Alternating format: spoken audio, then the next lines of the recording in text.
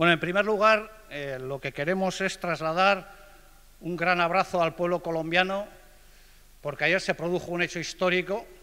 que fue la firma de la paz definitiva por parte de las FARC y el Gobierno de Colombia, y por lo tanto deseamos al pueblo hermano de Colombia que siga por ese camino y que encuentre definitivamente el camino que a través de la política lleve a una sociedad más justa en Colombia, porque ese también es nuestro deseo. Y lo que queremos decir...